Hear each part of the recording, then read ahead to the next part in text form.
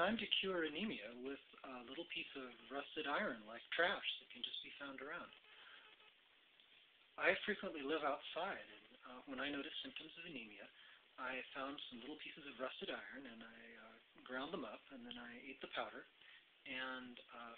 my symptoms ceased. I, so it's a approach to curing anemia. Wikipedia said that anemia may have affected 2 billion people during the 20th century, and it's particularly beneficial to women's vitality to cure anemia and curing women's anemia uh, brings greater vitality to so many things, and it uh, improves the lives of children as well, because their parents are doing better than they would be otherwise. It's time to reach out to the developing world and uh, remind them, or just let them know, that uh, grinding up little pieces of iron from